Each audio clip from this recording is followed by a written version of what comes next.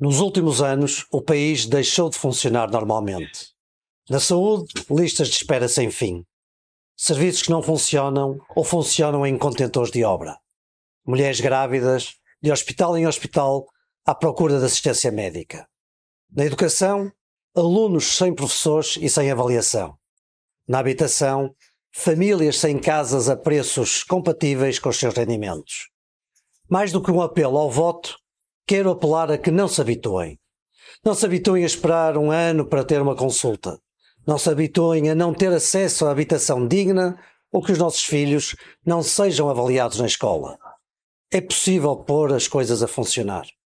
É possível ter um país diferente do que temos hoje. Um país com crescimento económico, um país onde os serviços públicos funcionam, um país onde a imigração dos mais jovens é uma opção e não uma obrigação. No próximo dia 10 de março, a escolha é clara. De um lado, o Partido Socialista e a incompetência de Pedro Nuno Santos, com as mesmas políticas que conduziram o país à estagnação e à degradação das instituições. Do outro lado, a Aliança Democrática e Luís Montenegro, com um projeto de mudança capaz de restaurar a confiança e melhorar o bem-estar dos portugueses. No dia 10 de março, a mudança está nas tuas mãos.